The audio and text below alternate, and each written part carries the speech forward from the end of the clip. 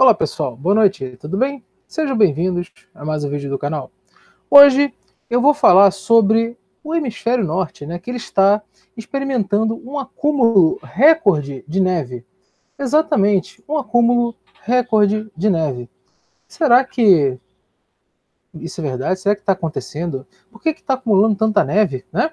Então, vamos lá. Eu vou mostrar aqui para vocês, é, como sempre, né, um, uma noticiazinha e vamos, vou comentar sobre ela depois. Tá aqui, ó. Lagos estão perdendo gelo do inverno em um ritmo recorde. Né? Aqui, 19 de fevereiro, pouco tempo atrás, na National Geographic. E aqui, lá do tal do Aprobio, 2019 começa com recorde de degelo nos polos. Né? Artigo de José Eustáquio e tal. Né? Então, é, desde. Eles estão falando desde National e vários. Se você for colocar de gelo tal, procurar hemisfério norte, ritmo de gelo, de gelo, vão encontrar sempre essa, essa coisa aqui. Tá? Mas então. É, eu estou com, com dados aqui fresquinhos e vou mostrar aqui para vocês. Tá?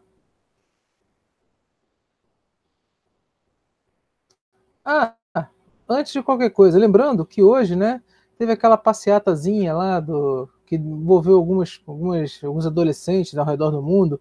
O Brasil também teve a sua participação.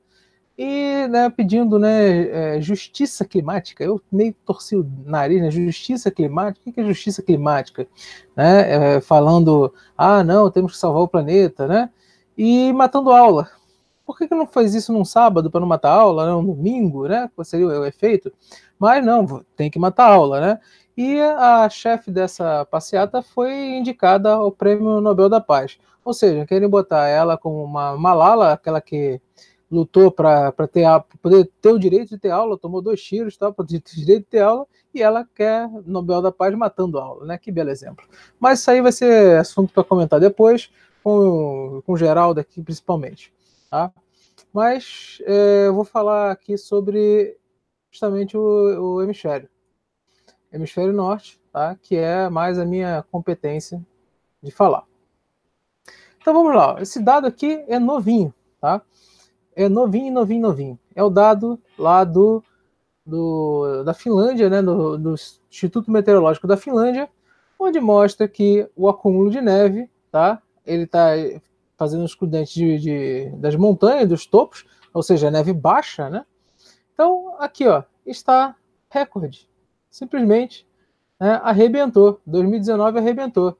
E esse dado é de 13 de março de 2019, dois dias antes de ter de ter é, feito esse vídeo. Então, um dado fresquinho, tá? Que nem a neve, fresquinha, lá crescendo, crescendo. Né? O degelo aqui, ó. Aí você, não, mas ó, o degelo vai ser recorde. Claro que vai ser, porque a neve foi recorde, então vai derreter mais, tá? Então, fica, tomem cuidado também. Então, aqui, pessoal, simplesmente tá, o dado mostra tá, do, do Instituto lá, é, Meteorológico da Finlândia, que é aquecimentista. Tá? Eles são aquecimentistas, falam de efeito estufa, falam disso tudo. Então, estou pegando o dado deles contra eles. Tá? Então, é, vamos ver uma coisa. Isso aqui, ó, eu decidi botar essa postagem aqui, que é de um artigo, tá? Vocês podem encontrar facilmente aqui, só digitando parte desse título, já consegue, até aqui você já acha, você acha fácil. É um artigo de 2018 que fala que as, as temperaturas indicam que em agosto as temperaturas já foram né, 6 graus Celsius nessa localidade, nessa localidade maior do que o, hoje em dia. E 4 graus Celsius maior do que nesse, nesse período. Ou seja, nós estamos falando do Holoceno, né, período de 900 anos atrás. Tá certo? Então, esse é um período antigo, né? 900 anos atrás. Agora, tem outra publicação, essa daqui, eles podem falar o que for, porque essa daqui é da Agência Nacional de Ciência dos Estados Unidos, né?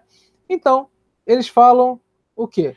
Justamente, né, do, do Holoceno, né? O Holoceno é um período que é um é um, um, uma pedra no sapato né, desse, desse povo do aquecimento global.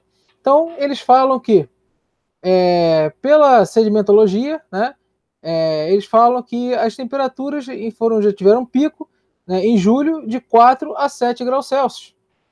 Tá? Ou seja, isso aí é média global, que nós estamos falando do Holoceno. Tá? E aqui, ó, do leste Holoceno interglacial.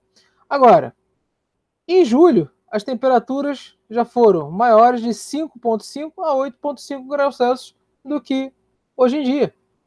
Ou seja, né, o que, que o homem fazia interferia no clima, no Holoceno, que eu vou mostrar para vocês exatamente o que, que é o Holoceno. Tá aí, ó. O Holoceno é aproximadamente 11.700 anos atrás.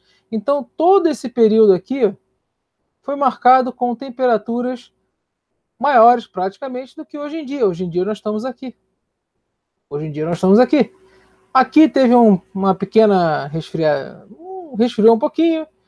Aqui aquela chamada pequenidade do gelo, né, que deu outra caída e começou a subir um pouquinho. O Holoceno ele foi marcado como um período mais quente do que hoje em dia. Ah, mas e o CO2? Como é que era o CO2 nessa época? Aqui está o Holoceno, aqui está o CO2 em relação ao Holoceno. Em nenhum momento, tá? Em nenhum momento do Holoceno até agora, até, ou seja, até 100 anos atrás, tá? Não passou as concentrações, não passaram as concentrações de hoje em dia. Então, nós tivemos aqui com 10, 9, 8, 7 mil anos atrás, temperaturas mais altas, há 8 mil anos atrás, temperaturas mais altas, com aqui, ó, com concentração de CO2 muito mais baixa. Ah, mas isso só aconteceu no oceano. Não, vamos voltar mais um pouquinho? Que tal o aqui, ó, só 80 milhões de anos, tá bom para vocês?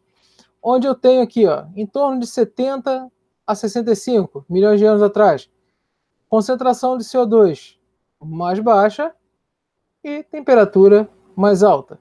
Aqui, 50 milhões de anos atrás. Ah, olha só, pô, o CO2 aqui ó, cresceu pra caramba, a temperatura é 17 graus acima. Então aqui, ó, poxa, aqui provou né, o efeito estufa. Só que aí olha só o que aconteceu com a temperatura. Caiu e o CO2 continuou subindo. Subiu um pouquinho e a temperatura caiu. Qual é a relação? Não tem. Aí depois, temperatura caiu, manteve pequenas variações, deu uma subidinha e olha o CO2 lá embaixo. Então, pessoal, é difícil, né? É difícil realmente é, é, acreditar nisso tudo. Então, antes de terminar aqui, eu vou voltar rapidamente lá no, no primeiro gráfico, que mostra justamente o tema do vídeo, onde é, houve um acúmulo de neve no hemisfério norte. Simplesmente um acúmulo de neve no hemisfério norte. Tá certo? Então, é, pessoal, é, fica fica complicado e mais uma vez mostrou que é uma mentira isso tudo. E respondendo a pergunta aqui do, do chat, né, como combater os aquecimentistas? Então, essa, essa briga já passou do, da esfera da científica, porque não adianta, é, virou já uma coisa política, e uma coisa, parte é, geopolítica mesmo. Depois eu vou, vou mostrar para vocês aqui um vídeo né, que eu vou fazer aqui com uma publicação onde fala que tem assim é, é relação do, do, dinheiro com a pesquisa climática, tá? Mas tá tranquilo. É, bom, pessoal, é isso aí. É, muito obrigado a todos por comparecerem aí. Obrigado pela, pela pelos que, que, falaram aí no, no chat. Vou, vou terminar o vídeo, porque esse realmente é um videozinho rápido, só para mostrar esse dado conciso que está tendo acúmulo de neve no hemisfério norte em vez de estar tá perdendo. Aquele abraço.